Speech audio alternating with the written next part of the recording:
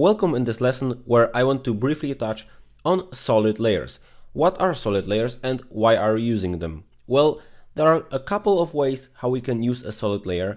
This is like a backbone and most often it's the first element you are adding in your After Effects project. I got the habit of adding solid layers just to start out my projects so I don't see the empty screen.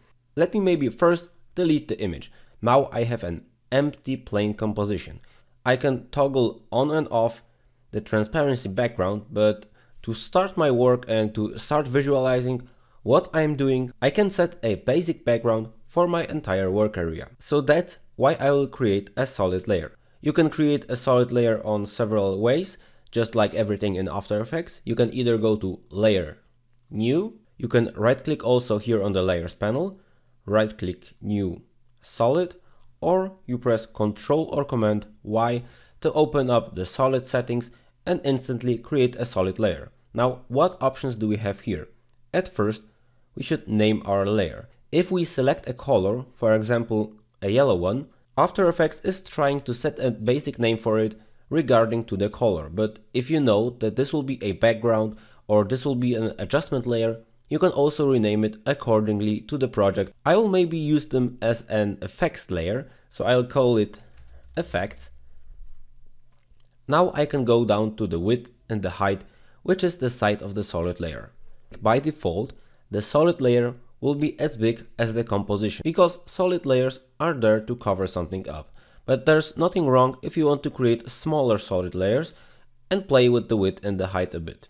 If you have made some changes and would like it to go back, you only click here, make comp size, and it will jump back to the full size. The next we have units. By default it's of course pixels, but there is something which people are missing. You can also create a percentage of the composition. For example, if the solid should be half the size of this composition, I make it 50%.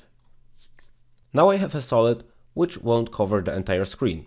Let me maybe hit OK and create the first solid.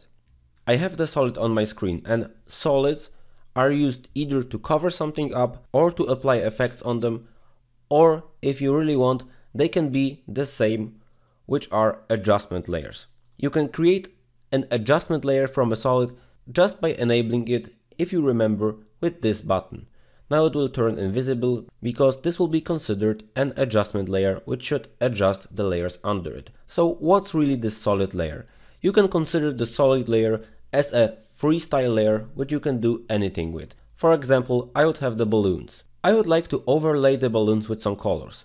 I could go to the effects panel here on the right, choose, choose the gradient effect and place the gradient effect right on my balloons.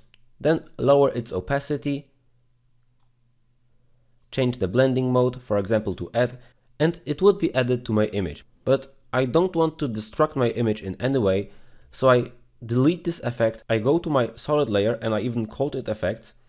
I will place this effect here, I will up the opacity, I choose a normal blending mode, let us make this visible, maybe lower down the opacity, and now I would have a nice simple effect without destroying the balloons image. I can of course resize this layer because, because the solid layers have the same fixed transformation effects like every other layer. They have a position, scale, rotation and opacity, which is the basic visibility of the image. Now I could also open up the toggle switches, change the blending mode, maybe to add, and I would create a similar effect without affecting the original balloons layer. You might want to remember that solid layers are somehow the backbone of every composition. Usually I delete everything and once I start designing I create a new solid layer and a right color can even set the right mood and tone for your entire composition. So remember about that. Now it's a bit too small and that's how you use solids. You can of course create as many solids as you want. They can be used to add in effects, they can be used as a cover up, they can be used as a background. It really is up to you and your creativity Please be aware that this tool exists here.